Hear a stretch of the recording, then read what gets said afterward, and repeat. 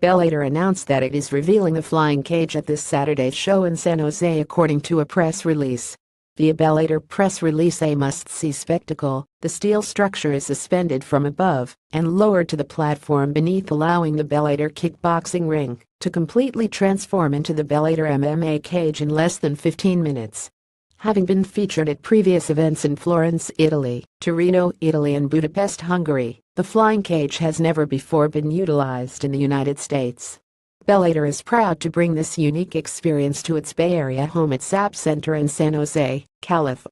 On September 23, payout perspective in the press release, the flying cage has a TM next to it indicating it is a trademark that has yet to be filed with the USPTO.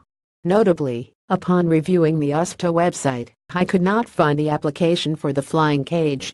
It's not that Bellator will not file for the trademark or has, it's just that it is not on the website yet Maybe a novelty that will be visually pleasing on television, it does not do anything to add to what happens inside the cage.